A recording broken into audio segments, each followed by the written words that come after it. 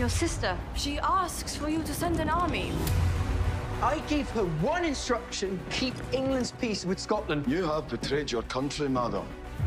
Women, they are sentimental creatures, and to have one rule a country, it is a disaster. Lina, is there something I don't know? The Queen has heard a rumor.